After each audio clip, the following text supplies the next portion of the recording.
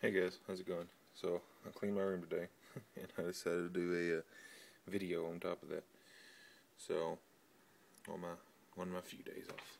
So, this is my uh, my biggest Davy Gavic I showed y'all. I got from Petco, and uh, she's been webbing a whole lot. She's got this whole like little hammock going up here. So there she is and uh, she's pretty much soaked up the whole thing. And then over here, you can't see her. You're probably not going to. But this is my B. smithi, Arachne, my first tee. And she has molted again. You can't see her. There she is.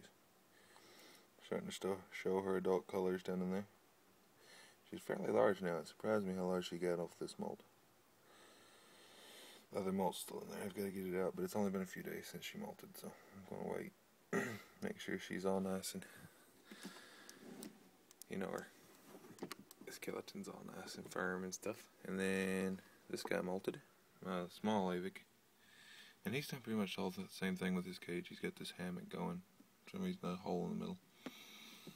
Yeah, it malted too. Focus. There you go little bit better view. But uh, she molted, and then my GBB molted. Give me a second, I gotta lay down the camera.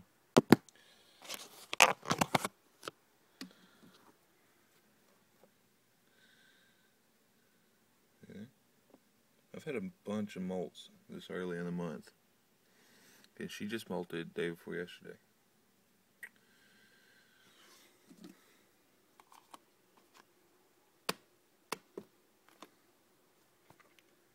And then, up here, Gallus molting. So there she is. Or he, I'm not sure yet. The molt's still there on her too. Come on, focus.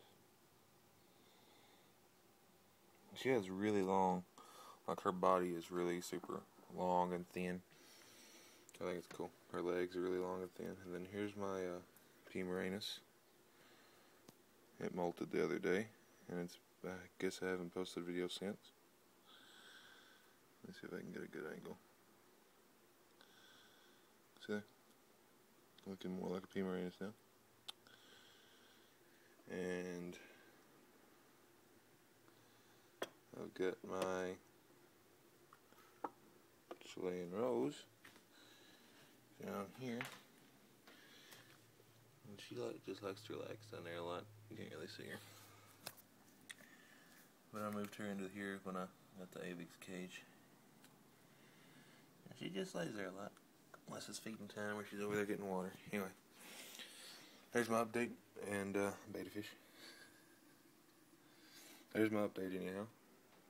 And uh, hope you guys enjoyed it. Comment, subscribe, tell me what you think. See you guys later.